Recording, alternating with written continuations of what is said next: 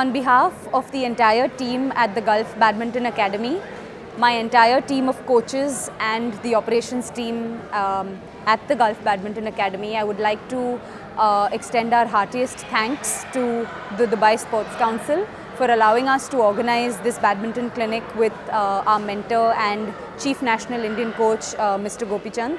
We've been operating uh, here in Dubai, running badminton sessions uh, at the World Trade Center and at our center in Ajman for the past six months and it's great, very heartening to see the response from uh, the local uh, Emirati community, from uh, all the all the students, young uh, aspiring badminton players. The turnout has been amazing. Um, we as coaches are doing our best to implement the curriculum that is uh, being implemented at the Gopichand Academy in Hyderabad.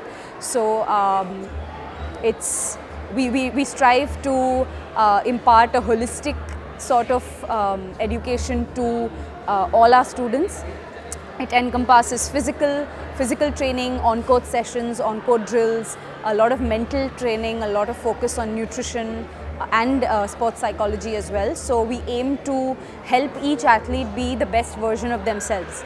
Uh, I hope we can continue um, this dream because we truly believe that, the, that uh, the Dubai and the GCC countries have immense potential.